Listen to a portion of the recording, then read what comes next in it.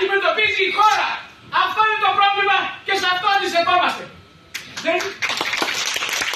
Οι Εγκληματίες είναι αυτοί οι οποίοι... Ποιο λόγο ακριβώς. Παρακαλώ σε βασίλειο την αίθουσα. Σας παρακαλώ.